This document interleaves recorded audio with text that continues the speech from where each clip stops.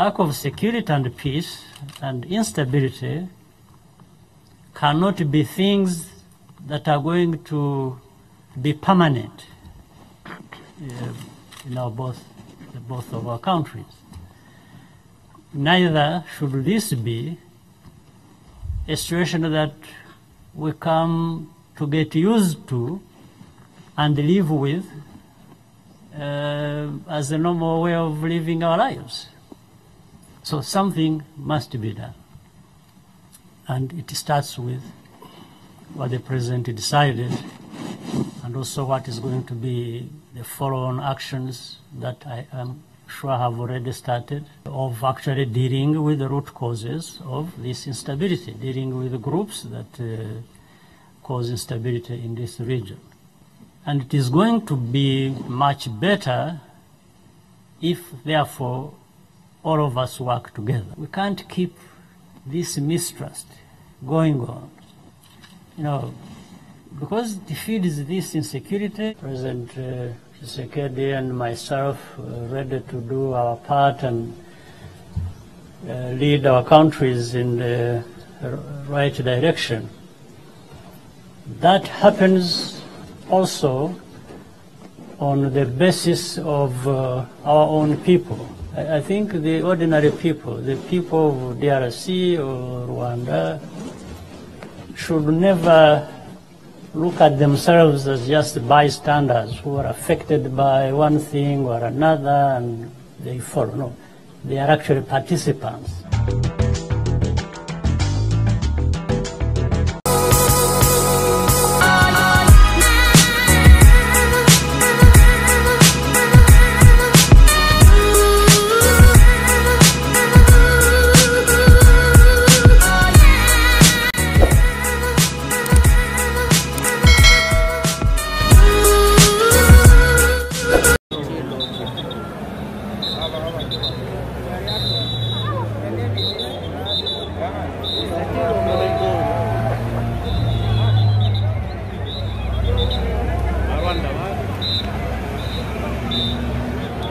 Kagame huyu.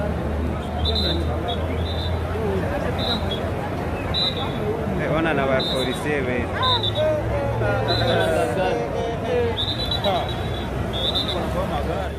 Ah, bimwe mu bikorwa remezo mu mujyi wa Goma byangiritse ku mpamvu z'iruka ry'ikirunga cya Nyiragongo ah, mu mujyi wa Goma. Icyo kirunga rero cya Nyiragongo ah, cyangije ibintu byinshi harimo amazu y'abantu harimo ah, n'ibindi bikorwa remezo bitandukanye birumvikana ni ingaruka zikomeye cyane iki kirunga cyagize ku baturage b'uyu mujyi ariko izo ngaruka nanone ntabwo zabaye gusa mu mujyi wa Goma kuko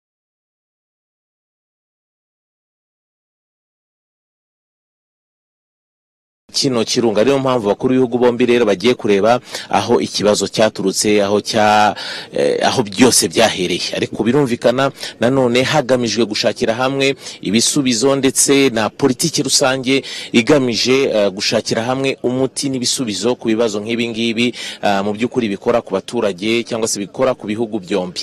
Birumvikana niba ibihugu bigomba kubana hagomba kubaho mu by'ukuri kunoza ndetse no kumenya bimwe mu bibazo ah, ibihugu byombi eh, byahuriraho. Ni ukuvuga ni ugusangira ibyiza n'ibibi nk'abaturanyi beza bagomba kubana mu bibazo ndetse no eh, mu byishimo. Birumvikana rero nyuma yo gusura umujyi wa Goma n'aho hantu nababwiraga hangiri- hangiritse bitewe n'icyo kirunga cya Nyiragongo cyarutse mu byumweru bishize haraza gukurikiraho indi gahunda aho abakuru b'ibihugu bombi baza kugira ijambo bageza ku baturage b'ibihugu byombi. Ah, iryo jambo rero riraza ah, nanone gukurikirwa ah, n'ikiganiro hagati y'abakuru b'ibihugu byombi n'itangazamakuru. Birumvikana hari itangazamakuru ryo mu Rwanda ryambutse riri hano muri Kongo kimwe na RBA hafi yawe turaba duhari zose za abanyamakuru bigenga eh, baturutse mu Rwanda nabo eh, bageze hano muri Kongo haraba nanone eh, n'ibindi bitangazamakuru byo muri Kongo aho turi bikeneye kumenya byinshi ku mubano ndetse n'icyerekezo ibihugu byombi bifite mu kurushaho kunoza no gukomeza uwo mubano birumvikana rero haraza kuba hari nanone ibitangazamakuru mpuzamahanga bikeneye kumenya u rwanda na kongo mu by'ukuri bageze hehe uyu munsi bubaka bananoza umubano o, wabo. Ariko usibye icyo kiganiro harateganyijwe nanone kubaho.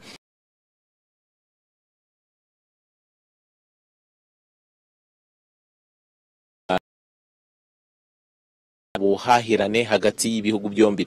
Uyu munsi eh, abaturage bakeneye eh, ko hanozwa zimwe muri politike amwe mu mategeko guhuriza hamwe amategeko mu bijyanye eh, n'ubuhahirane kugira ngo ibyo byose byorohereze abaturage urujya n'uruza ndetse n'ubuhahirane. Birumvikana rero ni umunsi ukomeye cyane eh, aba baturage basanzwe bategereje cyangwa se bari bategereje cyangwa se bakeneye kubona ni umunsi ukomeye by'umwihariko nanone kubikorera. Abikorera ah, mu by'ukuri eh, bakomeje nanone gukenera ibintu nk'ibi ngibi byo kwagura amarembo no kurushaho kunoza ah, umubano w'ibihugu byombi. Birumvikana n'umunsi umunsi rero ukomeye ni umunsi ugomba kuzana ibisubizo ku bihugu byombi. Ni inkuru nziza rero kandi igomba nanone kugaragaza icyerekezo n'ubushake bwa politiki. Nahoze mvuga Kongo Kinshasa yagaragaje mu kubana لأني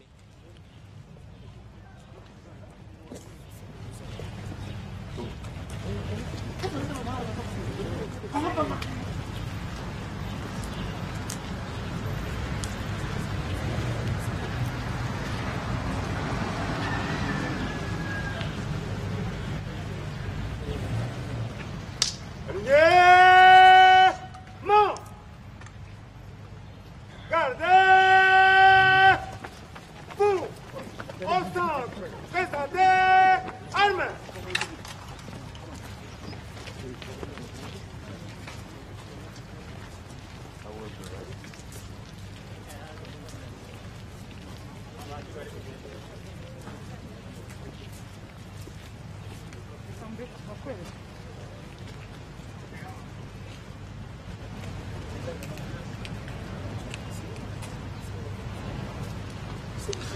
Abakuru b'ibihugu bombi rero bakaba ba- berekeje eh, mu mujyi wa Goma birumvikana nyakubahwa perezida wa repubulika Paul Kagame na mugenzi we bamaze gukandagira ku butaka bwa Kongo aho nk'uko mubibona mu mashusho rero eh, bari kwinjira mu modoka igiye eh, kubajyana.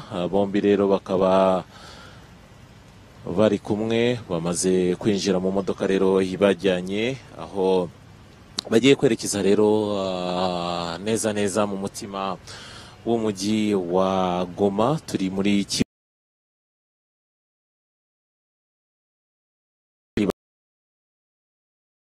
mu myaka ya vuba hano. Ariko mu by'ukuri iki ni ikimenyetso mu by'ukuri cy'umubano mwiza ukomeje gushimangirwa hagati y'ibihugu byombi. U Rwanda na Kongo Kinshasa mu by'ukuri eh, wasubiza amaso inyuma ibi ni mu myaka ibiri eh, aho ubushake bwa politiki bwatangiye kugaragara. Ku mpande zombi abakuru b'ibihugu batangiye guhurira i Kigali mu Rwanda. Ah, inshuro nyinshi perezida Tshisekedi yari amaze kuza mu Rwanda yaba ah, muri gahunda ah, z'u Rwanda na Kongo gusa yaba mu nama mpuzamahanga zabaga zimuzanye ariko birumvikana mu Rwanda. Uyu munsi rero nyuma yo gusura u Rwanda nanone ku munsi w'ejo akarere ka Rubavu mugenzi we nyakubahwa perezida wa repubulika Paul Kagame nawe akaba ah, asuye mugenzi we. Aya ni amashusho y'amateka turi kubona abantu bose bari kutureba ni amashusho mu by'ukuri amateka azazirikana uyu munsi aho ibihugu byombi bikomeje mu by'ukuri gushimangira kurushaho kunoza umubano wabyo mu nyungu z'abaturage eh, b'ibi bihugu byombi birumvikana.